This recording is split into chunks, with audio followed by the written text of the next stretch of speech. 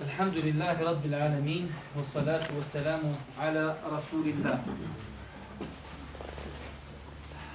Poglavlje uvjeti ispravnosti namaza. Nakon što smo spomenuli nekoliko pitanja vezanih za namaz, propis ostavljanja namaza, propis namaza i tako. Nakon što smo govorili o ezanu koji dolazi prije namaza, počinjemo o uvjetima da bi namaz bio ispravan. Takozvani šartovi. Uvjeti da bi namaz bio validan. Prvi uvjet da bi namaz bio validan, znači uvjeti su stvari koje treba da se ispune prije nastupanja namaza. Imaćemo ruknove, temelje namaza, to je nešto što je sastavni dio namaza u namazu. A uvjeti su nešto što treba da se desi prije namaza. Prvi uvjet validnosti namaza jeste nastupanje namaskog vremena. Prvi uvjet da bi namaz bio ispravan jeste nastupanje namaskog vremena.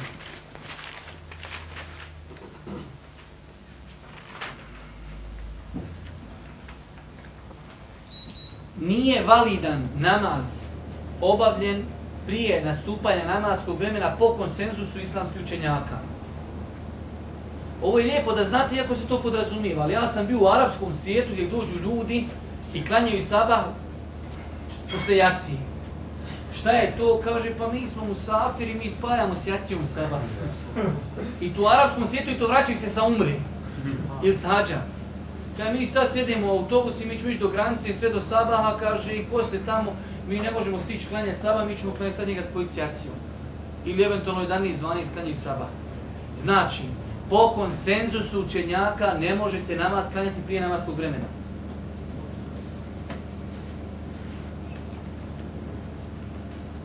Isto tako, nije ispravan namaz koji se klanja nakon namaskog vremena. Kao što se ne može namaz klanjati prije vremena, ne može i nakon vremena. Allah Đelšanu kaže, doista je namaz vremenski ograničena obaveza. Podne ima svoje namasko vrijeme i kindije ima svoje namasko vrijeme i klanja se od početka do kraja kad imamo vremena.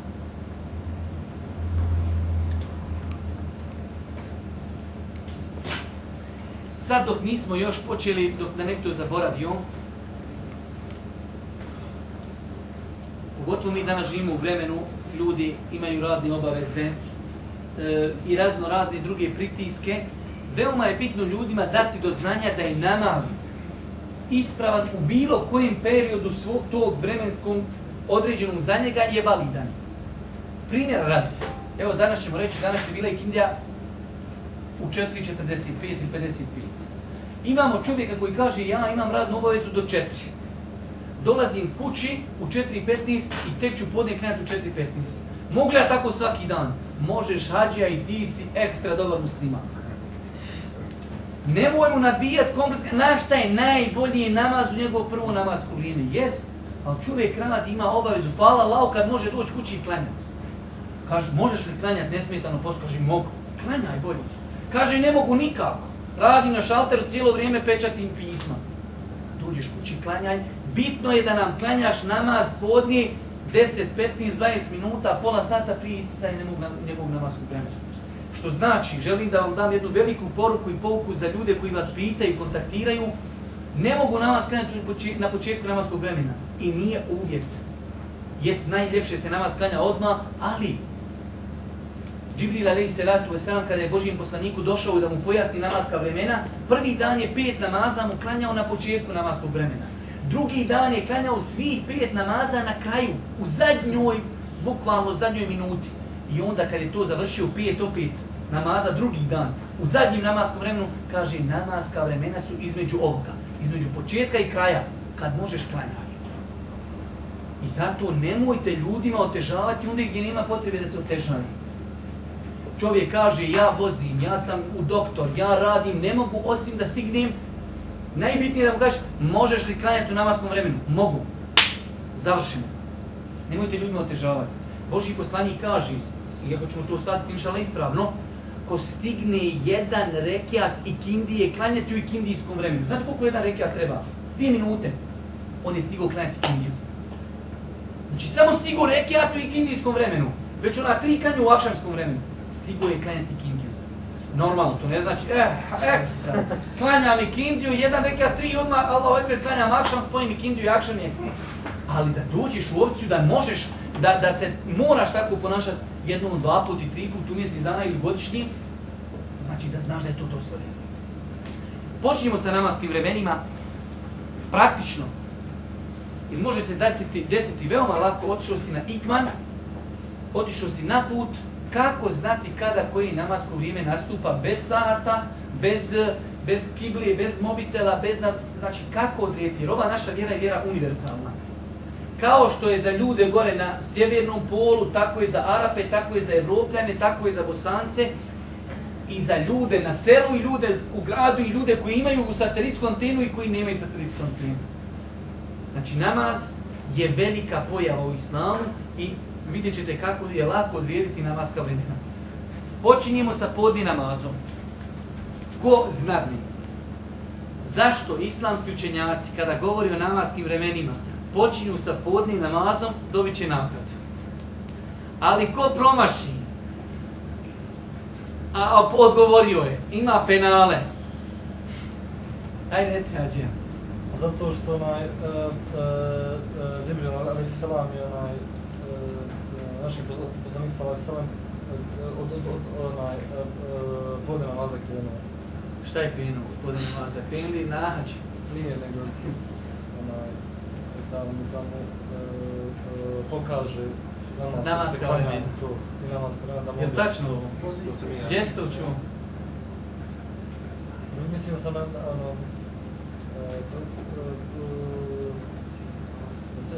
dersu. Pa mora da smo dersu, nisi mogu čuti na, na, na, na onaj, kako se zove, na vijestima. Vijestima ne kažem, samo što na dersu. Hoćeš knjigu zadim u pet maraka, Ja sam to povedao. Jesi. Ja sam mislio da neće niko sigurno znati odgovor. Ne vezi što ti ni nogom zbog. Sam požuri, ode nam vrijeme, ode nam sam, ode nam. E, dobra je taj služ. Evo tebi, onaj, kak se zove, brate, ti što si znao, i tebi isto jedna knjiga, ovo je ekstra lijepa knjiga. Ja sam mislio da neće niko znati odgovor. Počinjemo sa podne namazom. Zašto islamski učenjaci? Nije to obaveza, ali kada u knjigama fika počinju govoriti o namaskim vremenima, uvijek počinju većinom sa podni namazom, povodići se za Džibrilom, ali se ratu selam, jer on kada je došao da pojasni Božijem poslaniku kako da klanja u kojim namaskim vremena, počeo je sa podni namazom. Podni namaz počinje sa momentom kada sunce priđe polovinu neba. I traje dok ne postane sjenka određenog tijela onoliko koliko je tijelo veliko. Kako je to jednostavno? Uzmijete štap čija dužina je metar i zabijete ga u zemlju, ali da iz zemlje vidi sad još metar, a dole ste 20 cenata zabili. I pratite sjenku, sunce izlazi, izlazi, šta sjenka radi? Smanjuje se, smanjuje se, smanjuje se, smanjuje se, smanjuje se i dođe u jednom momentu, mala je ta sjenka, jer teško je naći ugao da nema sjenke. 20 canata i stani. Stoji jedan moment i onda se počne povećavati. Onog momenta kada se sjenka počne povećavati, nastupilo je podni na vas. Je to filozofija teška? Tako jednostavno uzmete znači olovku, predmet od metar, samo je bitno da znate koliko je dug, i zabijete ga u zemlju i čekate.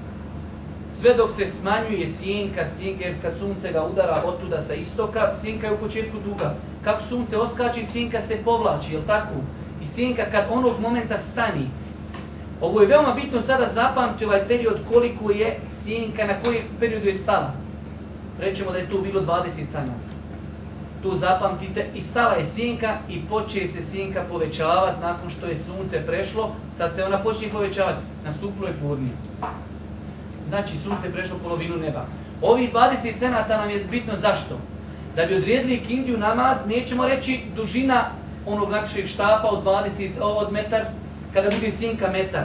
Već kad bude sjenka metar i 20, jer se onih 20 cenata ne broji. Jeste shvatili u filozofiju ili to je nešto komplikovano? Ima sjenka koja postoji u vremenu kada je sunce na polovini neba, ta sjenka se ne broji. Zato poslije kada hoćemo odrediti kada nastupa ikindija, uzimamo prvu u obzir tu dužinu sjenke koja je bila onda kada je sunce bilo na polovini neba, onda dodamo dužinu tog metra i to je ikindija namaz. Početak ikindije namaza. Vrać, e, to je znači podni. Bitno je da prvo da spontamo i za svaki namaz, namaz ćemo spomenuti samo jedan ili dva propisa. Znači, podni počinje onog momenta kada sunce prijeđe polovinu neba. To je početak namaskog vremena. Završaj onog momenta kada sjenka svakog predmeta postane duga kao on, izuzimajući dužinu sjenke koja je bila u periodu kada je sunce bilo na polovini neba. Jesmo svi to shvatili? Jesmo. Ok. Što se tiče podne namaza, u osnovi je propisano se klanja u prvom namaskom vremenu, u smislu najveći je seba klanjati u prvom namaskom vremenu. Je tako? Jest, slobodno recite, jest. Osim u jednoj situaciji. Kada? Kada, govorimo o podne namazu, kada je velika vrućina.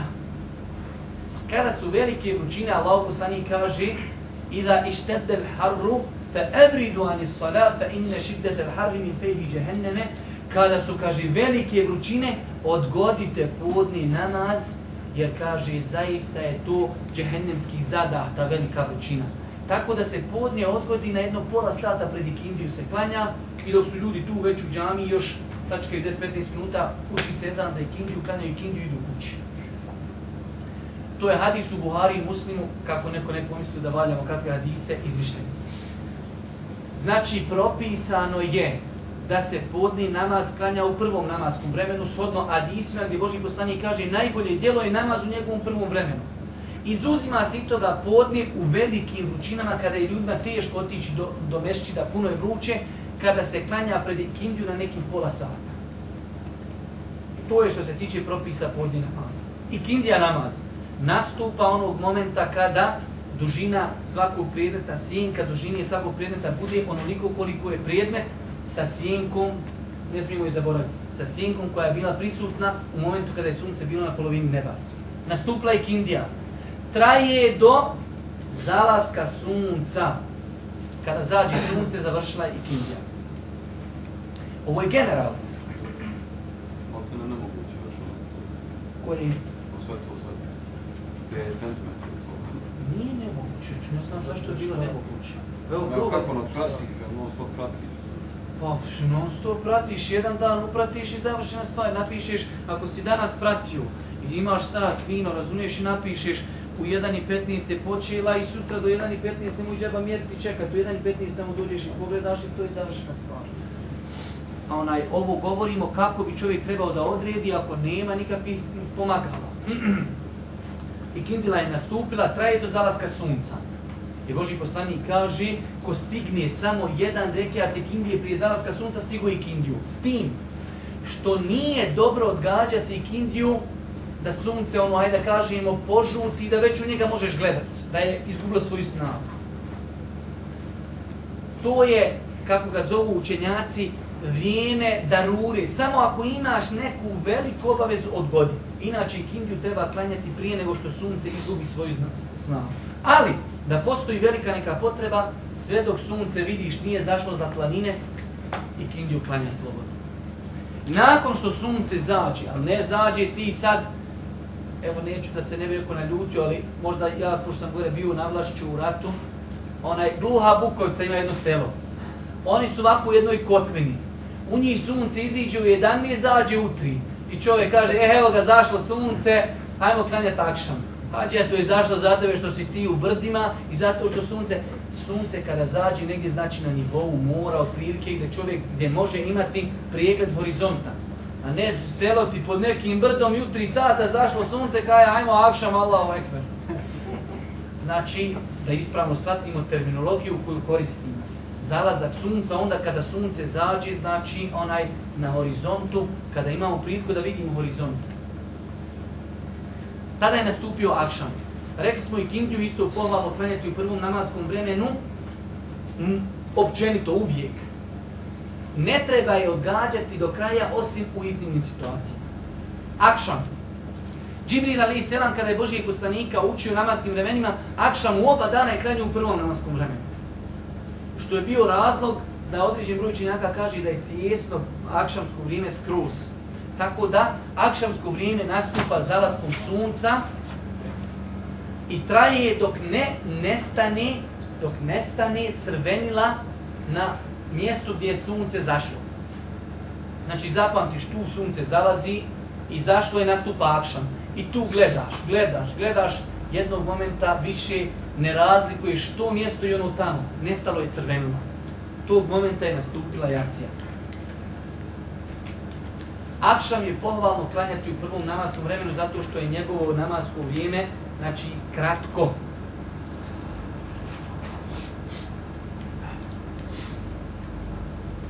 Jacija nastupa onda kada nestane crvenila na nebu gdje je zašlo sunce.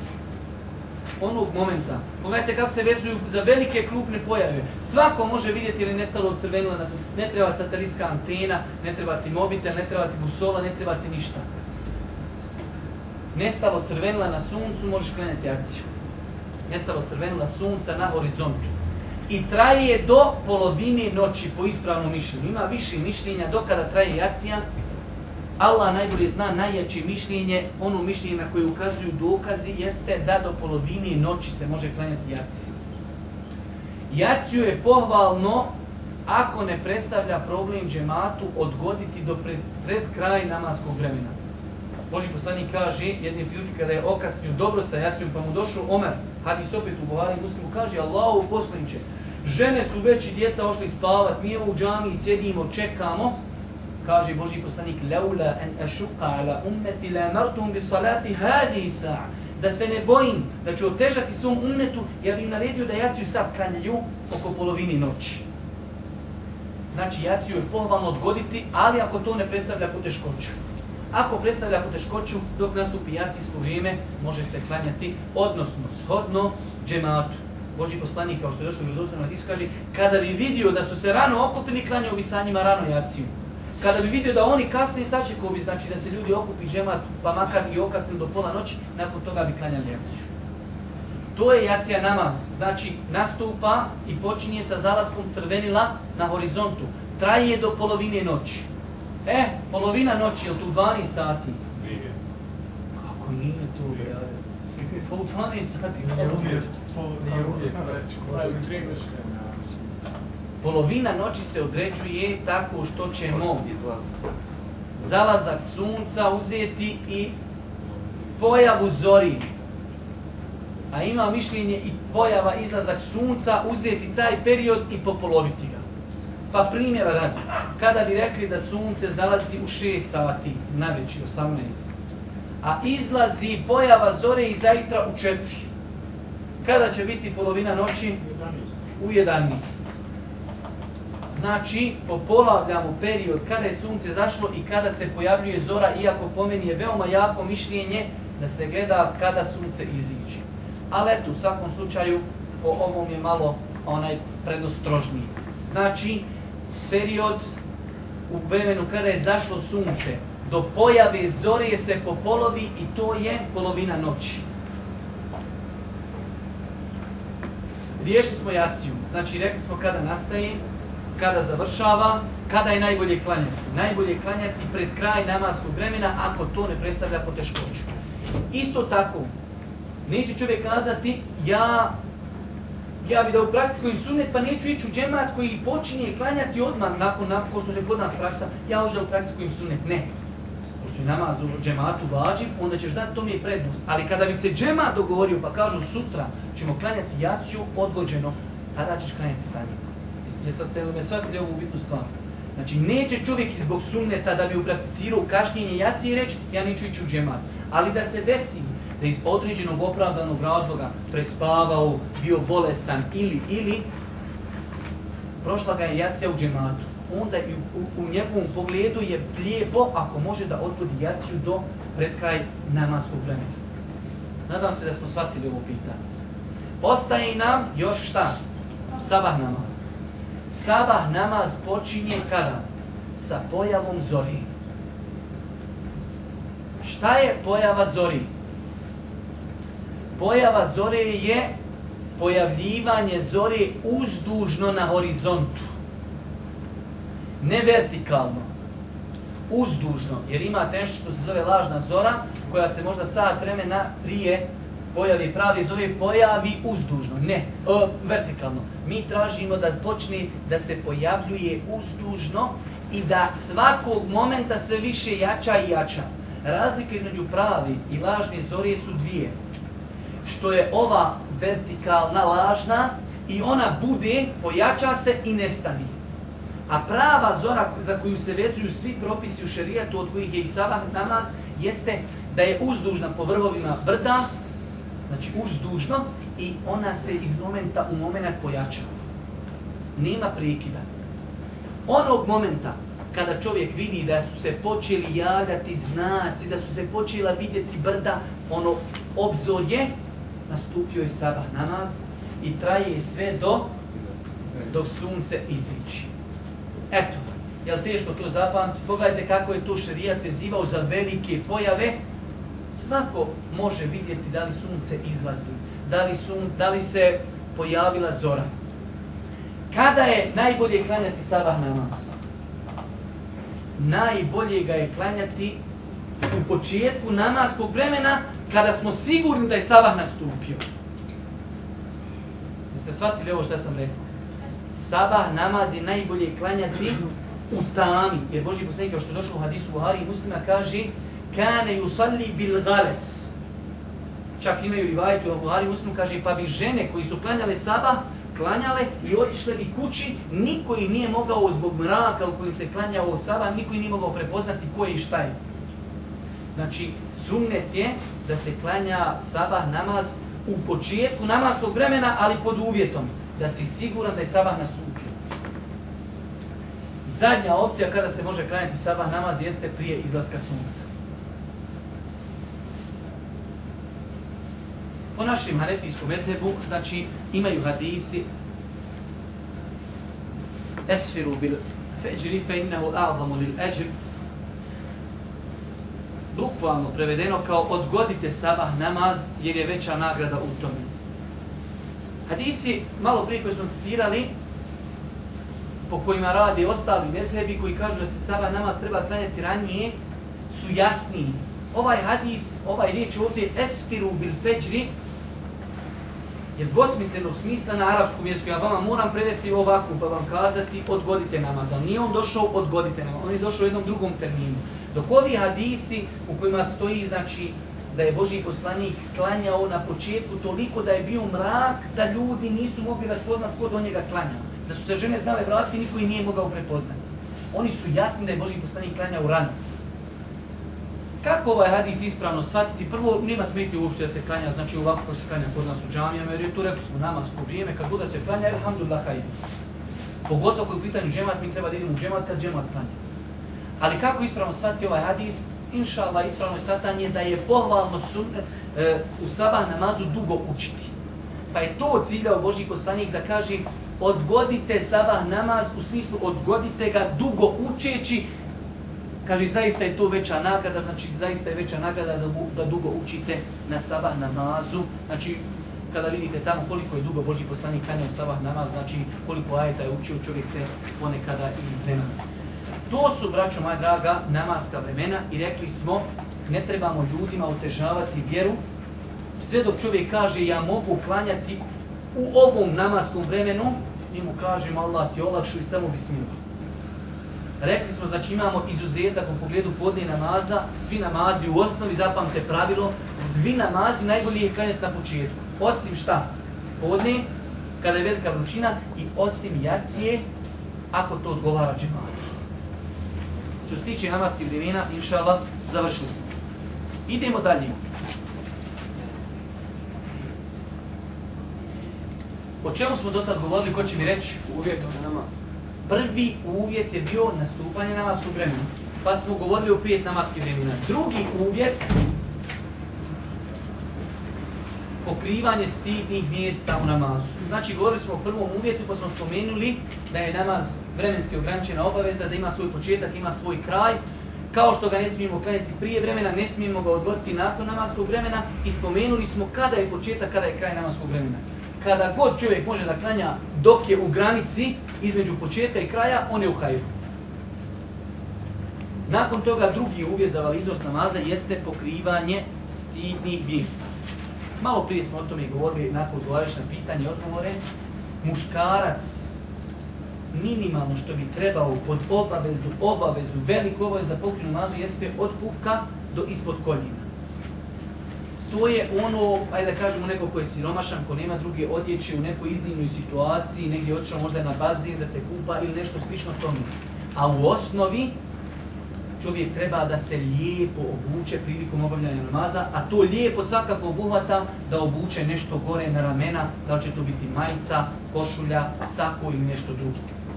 Ali minimalno, minimalno za validnost namaza jeste od pupka do ispod koljeva. Ali smo rekli, to je za muškarca. Ali smo rekli da je svakako pohvalno da čovjek shodno onom kuranskom ajetu Udu zinetekum inda kulli mesjidin kada god idete u džami obavljati namaz, lijepo se obucite. Svakako da nije plavo lijepo, zamisli sada ti dođeš na teraviju i ti u kupaćenom šorcu. Sam mi radio kakav haram. Nisi uradio haram, ali ne doliči to kao što ne bi ošao kod direktora neke firme, tako ko neki Bruce Lee, isto tako ne doliči da pred svoga gospodara staniš u kupačim šorcu. Žena u namazu Ima ovdje malo ulema koja, znači ovdje se pitanje vraća da li žena je obaveza nositi nikab ili ne. Samim tim da li ima muškaraca kod nje kada klanja ili ne, ali generalno ono što smo učili nekad u Mektebu, jeste žena sve treba pokriti u namazu, osim šaka, lica, ali ovaj dio lica, pazite, ne ovako kako naše sestre nose mahramu, ovaj dio donji koji se zove podbradak, on se ne vidi od bradi, onaj, ovo je dole obavezno pokriti. Tako da mahrama žene treba da bude ovdje ovako kako to nose naše nekad sestre iz Turske. Ali oni malo ozbiljniji, oni što nose crni mahram, oni što nose šareni, što su koji Afrikanke, to je druga priča. Znači žena treba da pokrije, odnosno može otkriti ono što se perije prilikom abdesta. A ovo dole treba pokriti. To je ispravno pokrivanje žene koja ne nosi nikad. Da ovako mahramu nosi da se ovdje mahrama završaje i da se ovaj dio dole ne vidi. Znači žena može u namazu otkriti šake, ne šaka da ju bude šaka ko u nekog ninja kornjača do ovdje da je šaka. Šaka do ovdje. Nije nikakav bokser, da nije nikakav karataš, nije do ovdje šaka, već do ovdje. Da otkrije lice ovako kako smo pokazali, da pokrije podbradak, i po određenom broju učenjaka može otkriti stopala, iako je svakako bolje stopala pokriti. To je ono što žena može otkriti na namazu. Iako u svemu ovome nekako ima malo, znači ako određen broj kaže da je ženi u osnovi nositi obavezan nikab i oni kažu ako žena klenja pred muškarcima treba nikab imati na licu. Ali ne ulazeći u te detalje, znači žena u namazu može otkriti, naročito ako klanja u ženskom dijelu mesčida ili sama kod kući, može otkriti šake, ali šake samo šake, lice i stopala po određenom mišljenju učenjaka. Jer ne postoji jav dokaz da žena mora pokriti stopala u namazu. Tu je, braću moja draga, što se tiče stidnih dijelova tijela. Treći uvjet ispravnosti namaza, rekli smo prvi nastupanje namaskog vremena, drugi pokrivanje avreta stidnih dijelova tijela, treći jeste udaljavanje od nečistoći. I ono što smo nekad isto učili, ja se dobro sjećam kad sam bio mal, očistiti tijelo, odijelo i mjesto klanjanja. Tako je bilo u starim tim našim, takvi, oni kako se zove, ili Mihalva napisao. Očistiti tijelo, odijelo i mjesto gdje će se klanjati. Znači da čovjek od uvjeta namaza je da očisti tijelo, svoje tijelo, svoje odijelo, ne komšino, sebe, svoje tijelo i svoje dijelo i mjesto gdje će klanjati. To je od uvjeta, a govorili smo prošli put, prošle nedjelje, šta je to nečistoća u šerijatu, tako da nekada ako čovjek dođe u situaciju da je na građevini, beton nije nečist, prašina nije nečista, zemlja nije nečista, izmet domaćih životinja čije meso je jestivo nije nečist po šerijatu i tako dalje. Veoma nam je bitno znati šta je čisto, šta je nečisto. Ono što smo spomenuli da je nečisto, treba čuvati svoju odjeću, svoje tijelo i mjesto gdje ćemo klanjati od nečistoći. Nekoliko kratkih pitanja vezano za ovu tematiku. Šta uraditi u slučaju kada čovjek nakon što je predao selam vidi da na svome tijelu ili odijelu ima nečistoću? Pa smo rekli, čovjekov namaz je ispravan, makar i znao prije toga za tu nečistoću, ali je zaboravio. Ovo je, vjerujte da veoma često ljudi ovo pitanje postavljaju. Znači, ako se desi da čovjek klanja, hađe skloni nogu u sapu gdje Allah te nagradio. Znači, ako se desi da čovjek nakon namaza, ako ga šeki u toku namaza ne posjeti, ako se sjeti nakon namaza, jer dođe on njemu, njemu on fino prije selama, kaj znaš da imaš maramicu ugačenu. Ako znači se desi da se sjeti nečistoće ili je vidi nakon predaj selama njegov namaz ispravi ne treba ponavljati. To je opcija nakon selama. Ako se desi da vidi nečistoću ili da je se sjeti u toku namaza, rekli smo da postoje dvije opcije. Ima opcija da može tu nečistoću uklonuti, ali da i dalje bude pokriveno, znači tijelo koji treba da bude pokriveno u namazu. Pa primjer radi, čovjek ima majicu, ispod nje ima potpušnu. I sjeti se u toku namaza na drugom rekiatu podnije namaza da mu je se braco popiškio po dresu. On fino namazu samo tako dođe, baci ga i nastavi klanjati. Kao što je uradio Boži poslanik Ali se ratu selam kada mu je Džibril kazao da ima nečistoće na papučama. Skinuo je papuče, nije ponavljao namaz. Mi iz toga uzimamo da je namaz validan, ali treba nečistoću ukloniti. Ako bi se desila druga opcija, da čovjek je se sjetio nečistoće, ali ta nečistoća je negdje gdje on to ne može riješiti u namazu, rećemo na donjem vešu. Tada će čovjek prekinuti namaz, otići skloniti znači nečistoću ili oprati ili skinuti odjeću i početi iz početka namaza.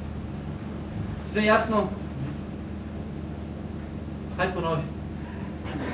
Malo tebe safatalo, bacate, ali nema veze. Ja sad. Ako može ukloniti, Šta ako može ukloniti? Komšinicu ukloniti s puta smijeta, ne bude voda. ima nečistoću na. Aha. Omogućen da otme, na primjer, koš da stigne, ima ispod potpušu. Dobro. Da to ukloniti. Dobro, uraditi. To je znači jedna situacija. Druga situacija ako ima nečistoću na dijelu tijela gdje ne može u toku namaza to ukloniti. Tada će šta uraditi? Prekinuti namaz, ukloniti nečistoću i početi klanjati. Dobro, to je bilo znači treći uvjet namaza, a to je uklanjanje nečistoće sa ova tri spomenuta e, stvari, znači sa odjeći, sa tijela i sa mjesta gdje klanjamo. Ovdje kada govorimo ne vezi, idemo dalje. Četvrti uvjet, okretanje prema kibli. Da bi namaz bio validan, čovjek treba da se okreni u pravcu kibli. Da bi namaz, pišite, da bi namaz bio validan, čovjek treba da se okrene prema kibli. Mnogo je dokaza, Allah Đelšanu kaže Božjem poslaniku, فَوَلِّ وَجْهَكَ شَطْرَ الْمَسْجِدِ الْحَرَامِ Okreni svoje lice u pravcu harema u Mekke. U hadisu poznatom Buhari muslim Boži poslanik onom čovjeku koji je brzo klanjao, pa kada je nakon tri puta što je ga vratio, neispravno klanjao, kaže Allah poslaniče, poduči me kako ispravno da klanjam. On kaže Allah poslanik, kada ustaneš da klanjaš namaz, okreni se prema kibli, a zatim donesi početni tekbir. Iz ovog hadisa i mnogih drugih ajeta, znači ona i argumenta uzimamo da je okretanje prema kibli uvjet. Šta znači okretanje prema kibli? Onaj čovjek koji vidi svojim očima keabu, ali uživo, nije na internetu niti na, na televizoru. Ma ljudi sad poslije TV preda se i kaže tu je kibla. Gdje je TV? Ne. Imate ljudi koji se okreću prema džami u svom selu. I to je greška, vjerujte. Znači ima ljudi koji mi se okrećemo prema džami. Pa džamija ba okrenuta lijevo, ti daš ovako. Ne, kaj mi prema džami se okrećemo. I to je greška. Znači čovjek koji vidi kip, kjab očima blizu je, mora se svim svojim tijelom okrenuti prema kjabi. Tu nema tolerancije. Čovjek koji je u Meki, kod kjabe, blizu, vidi kjabu očima, mora se svojim tijelom čitavim okrenuti prema kjabi. Nema tolerancije ni malo. Što se čovjek više odaljava od kjabe i od Meki, prostor za, ajde da kažemo, kalkulisanje je veći. Tada se okrećemo u pravcu. Zato Boži poslanik stanovnicima Medine, pazite, Medina je gledano u odnosu na nas veoma blizu od Meki. Neki 400 do 500 km. Kaže stanovnicima Meki, ono što je od istoka do zapada, sve je za vas kibla. Pazite, zna se, znači ovo je u Medini si i ovo je prac prema Meki, prema kibli. Boži poslanik im kaže, pazite, od istoka do zapada, znači o, kada ako je ovo kibla, znači 45 stepeni, imaš bukvalno prostora da možeš po, pogriješiti 45 stepeni. Zato kada vidite određeni džamije gdje ima malo nekog zakretanja, tu za malo pomoć ne. Ja sam to dosta puta, ako ste pratili, putem interneta odgovarao na pitanja gdje ljudi imaju problem da je džamija malo zakrinuta. Znači sva ta neka manja zakretanja treba svakako pokušati to popraviti.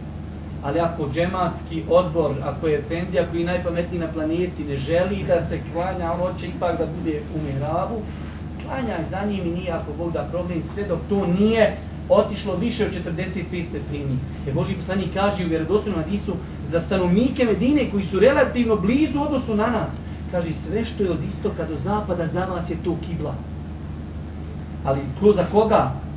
Za onoga ko je daleko. Onaj ko vi, znači imamo dvije kategorije.